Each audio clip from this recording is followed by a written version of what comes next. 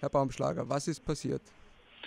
Ja, gestern in den Vormittagsstunden wurde eben in einem Park in Wiener Neustadt äh, eine weibliche Leiche aufgefunden. Die war in einem Gebüsch abgelegt und mit Blättern und Ästen bedeckt und aufgrund der Auffindungssituation äh, war von einem Gewaltverbrechen auszugehen, äh, weshalb die Amtshandlung auch vom Landeskriminalamt Niederösterreich Mord und Tatortgruppe übernommen wurde. Ja, weiß man denn schon, wie sie ermordet wurde? Also bei dem Opfer handelt es sich um eine 16-jährige Österreicherin aus Wiener Neustadt. Äh, die Staatsanwaltschaft äh, Wiener Neustadt hat äh, eine Obduktion angeordnet, die gestern Abend noch durchgeführt worden ist und dies gab eben einen Tod durch Ersticken, also die Tathandlung erfolgte offensichtlich durch Erwürgen des Opfers. Ein junger Mann aus Syrien wurde gefasst. Ist er geständig?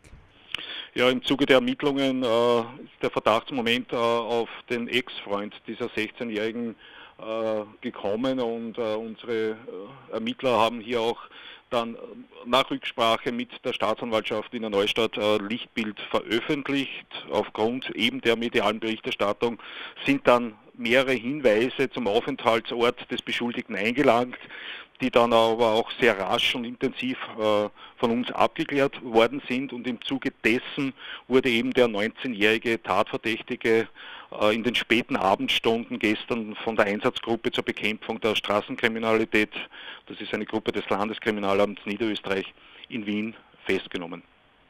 Es kursiert ja auch das Gerücht, dass es eine Anzeige wegen einem sexuellen Übergriff gab. Können Sie das bestätigen?